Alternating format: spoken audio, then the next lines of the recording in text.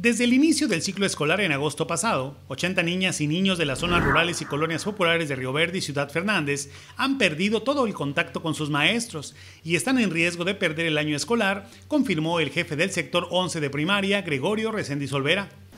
Este, pero tenemos un, un porcentaje considerable de niños que a la fecha no se han conectado por ningún medio. ¿sí?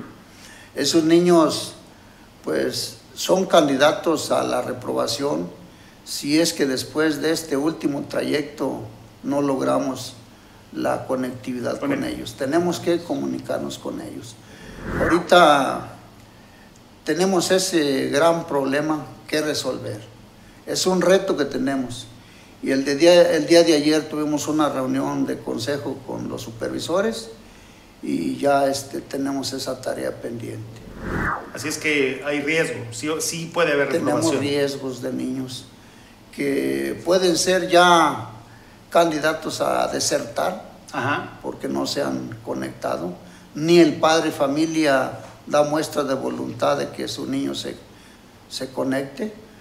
Se trata de un número menor si se habla de 12.470 estudiantes en el sector, repartidos en 106 escuelas primarias, pero el profesor con 49 años de experiencia dijo que cada alumno es una historia de vida que debe atenderse por el simple hecho de su derecho a la educación.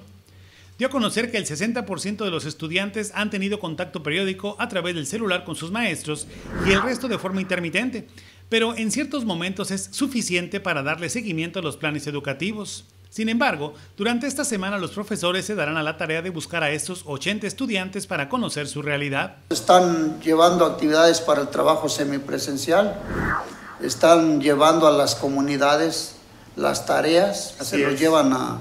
Ellos se organizan con los padres de familia para que determinados papás vayan y recojan las tareas y luego los maestros posteriormente vienen a recoger las, los trabajos que realizaron los niños y les llevan más tarea. Señaló que de seguir esta tendencia, los alumnos perderán el año escolar, pero no queremos que esto pase, dijo al informar que el lunes pasado, en las reuniones del Consejo Técnico Pedagógico se dio la orden para la búsqueda de estos menores.